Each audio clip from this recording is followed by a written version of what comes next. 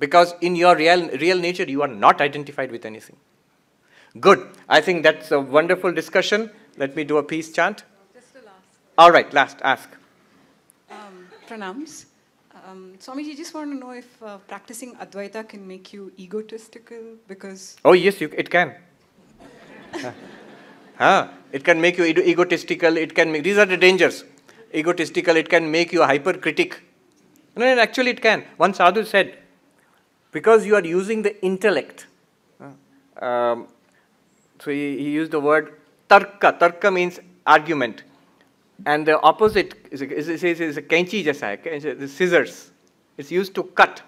Now, people who use scissors, they should know when to cut and when not to cut. You kept, you keep on cutting everything, left and right.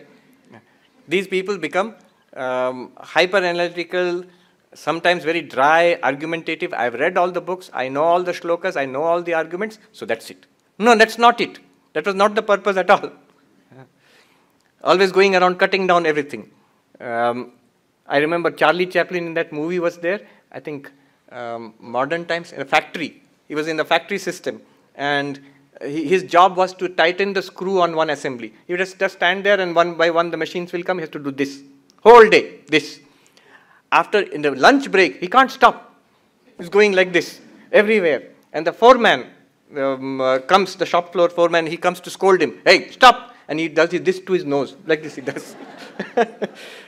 So Advaita can make you like cutting everything. I mean, it's a danger.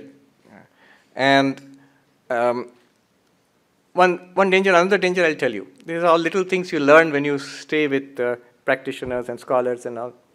One effect of it is um, because the buddhi, it is good at analysis. It becomes an expert in fault finding. An immature buddhi, if impure buddhi, you develop it to such an extent, you'll end up finding fault with every, everything. That was not the, not the goal of Advaita. And that's why purity of mind is required before you enter into these, these, uh, these, uh, this kind of analysis. But these are all preliminary problems. You stick with it, goal is God realization, stick with Advaita. Which path will not make you egotistic? There's a funny story of monks, they are devoted and practicing non egotism. They got into blows. I am less egotistic than you. Thank you so much. Thank you so much. Thank you so much for this illuminating talk. You've highlighted that we are nothing but one and that the real task is on us.